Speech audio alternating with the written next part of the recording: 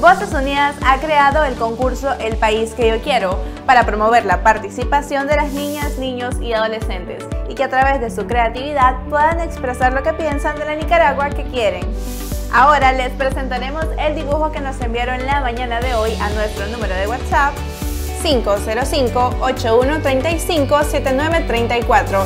El primer dibujo que nos enviaron hoy nos llegó desde España y su autor es un niño de 8 años. El siguiente dibujo nos lo enviaron desde Kukra River y su autor es un niño de 13 años. Este otro dibujo nos lo enviaron desde la ciudad de Managua y su autor es un niño de 13 años. El siguiente dibujo lo enviaron desde la ciudad de Managua también y su autora es una niña de 11 años. El otro dibujo nos lo enviaron desde la ciudad de Boaco y su autor es un niño de 16 años. Desde el departamento de León nos envían este dibujo y su autora es una niña de 10 años.